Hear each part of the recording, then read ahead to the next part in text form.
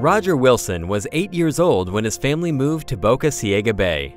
As he grew, Roger witnessed the effects of dredging on what was previously a healthy aquatic habitat. He heard stories told by fishermen and old-timers lamenting the disappearance of fish, shrimp, oysters, clams, and scallops.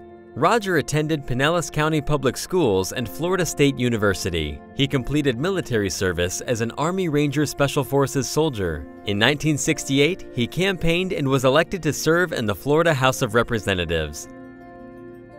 Today I smile a little bit to myself when I hear people say, oh, it's scallop season, let's go up to Homosassa or Crystal River.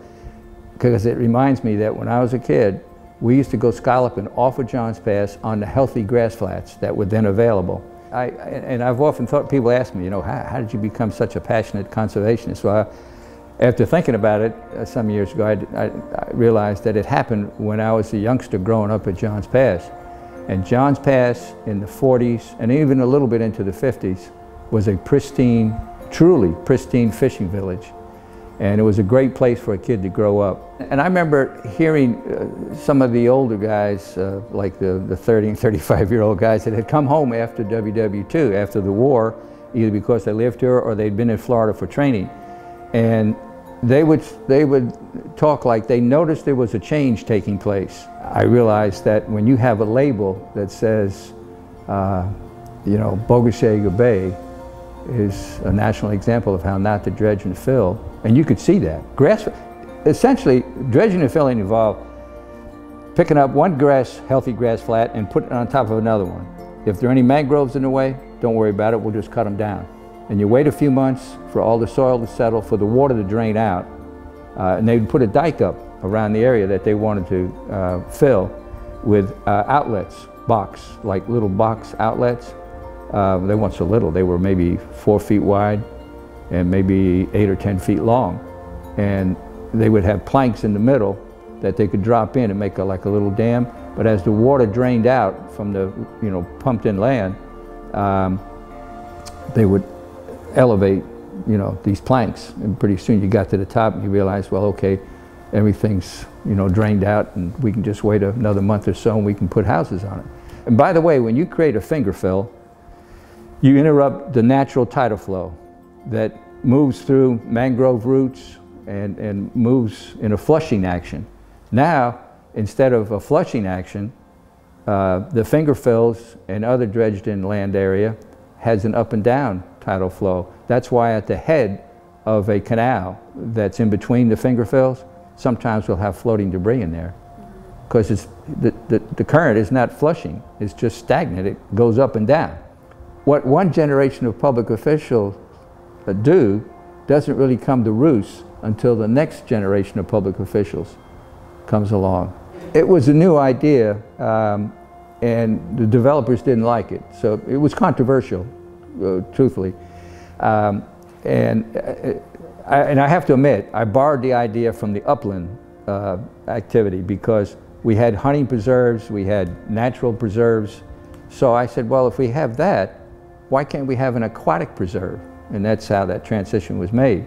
And um, I, it, it, it, was controversial. And I, I, don't want to go into too much detail, but it, it uh, one night in, in front of the Senate chambers, it almost became physical.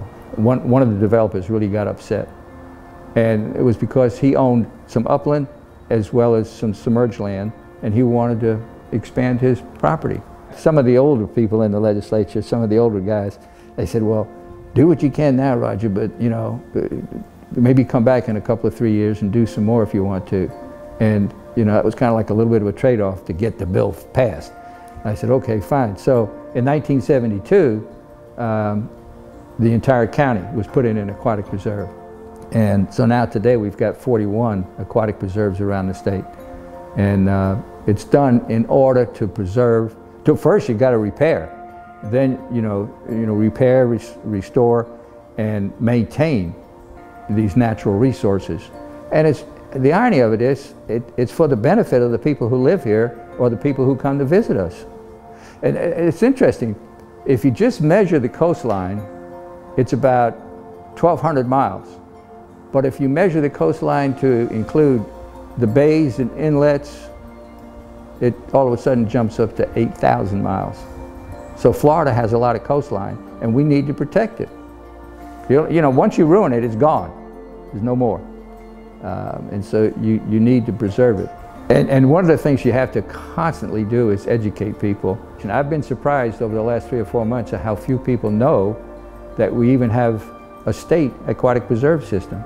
And so it's a, it's a constant uh, marketing, if you will, that we have an aquatic preserve system here in Pinellas County, and it's throughout the state, and it's done to preserve or repair first and then preserve our natural resource for the benefit of the people who live here, as well as the visitors. Uh, natural resource protection in Florida is critical. I would like to see more uh, local officials become conservation oriented, uh, dedicated to, to realizing that there are limits and we need to be aware of the importance of our natural resources. And, and again, I, I, I, I remember hearing conversations when I was just a little kid down at Johns Pass uh, involving the older people who were fishing, be it commercial or, or sports fishing. They were noticing a change. I mean, when you dredge up one grass, grass flat and put it on top of another one, and you eliminate a mangrove island in the process, you got to think, well, wait a minute. There's no place for the birds to go. There's no place for the, the little aquatic life to grow up or to start. Everything that happens in the Gulf of Mexico, either directly or indirectly, began in our bays and inlets. So what we do here at home influences the Gulf of Mexico. I'm not that old, you know, but you know, from 69 to 19, it's 50 years.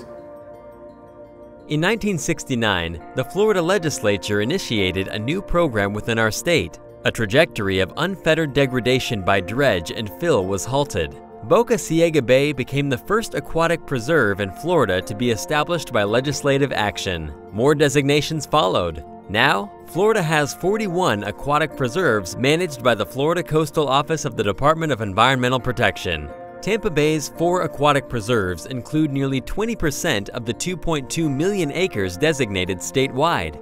Most of the underwater habitats of these preserves are out of sight, but we all benefit from the seafood, clean water, and other natural products and services they provide. Management of each aquatic preserve is based on science and on specific site conditions. Scientists, decision makers, and local citizens play an important role in identifying and addressing issues. Aquatic preserve staff help coordinate habitat restoration and public education projects related to coastal ecosystems. They are on the front line to identify and address issues. We all work together to maintain the health of our underwater backyard.